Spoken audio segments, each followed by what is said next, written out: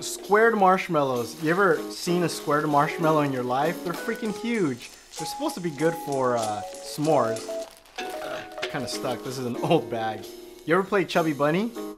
Chubby Bunny. That's freaking shoes.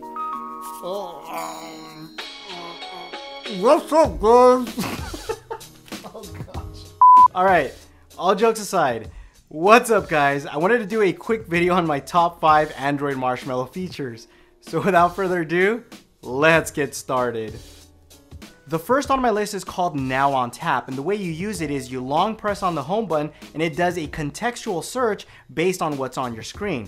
So let me elaborate more on that. So say for example, you have a buddy who sends you a text message and says, hey, let's go out to Benihana, which is a restaurant and you want to learn more about this restaurant, rather than copying and pasting Benihana or doing a Google search, all you do is long press on the home button and it'll actually bring up results based on that restaurant. And the best thing about it is that it also works on other applications too. So say for example, the other day I was on Instagram and somebody posted a Philly cheesesteak that looked really good.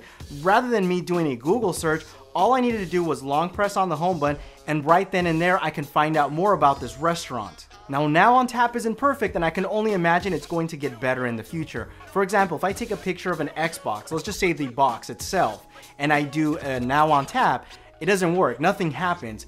And I think that Google has a technology to make this work as a Google image search. So if you take that same image and you take it to Google on your computer and do an image search, it will actually bring up results. So hopefully in the future we'll see that type of integration. It's one of the best features in Android Marshmallow that I can see getting better and better.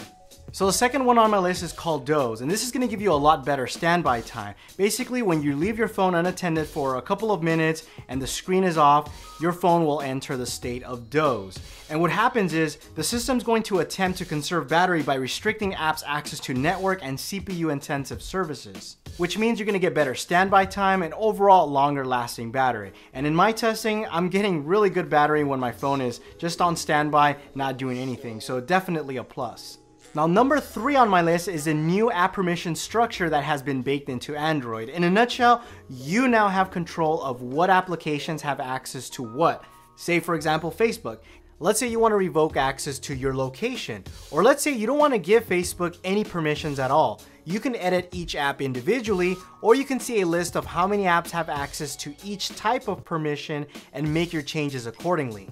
Now number four might seem like a small change, but it's actually important to me and that's do not disturb. So I like the fact that you can set up different rules. So say for example on the weekends you like to go out and you want your do not disturb to start at 2 o'clock in the morning and end let's say at 11 o'clock because you like to sleep in. But during the week, since you go to work, let's say you want your do not disturb to start at 10 p.m. at night and then end at 6 o'clock in the morning. Or let's just say you go to work Monday, Wednesday, and Friday and you want those days to be different. Do not disturb also works with calendar events too, which is very convenient. And finally, number five on my list is the System UI Tuner. Now to the roaming community, this is going to be nothing special, but I like the fact that Google actually baked this into Android because it shows where Android is headed, basically giving users more control and more freedom to do whatever they want with their phone.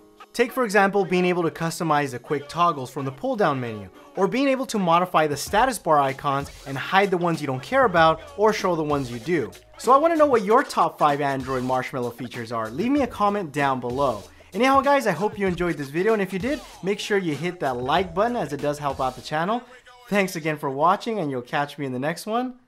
Adios. Talk. oh my gosh. The first, the first feature.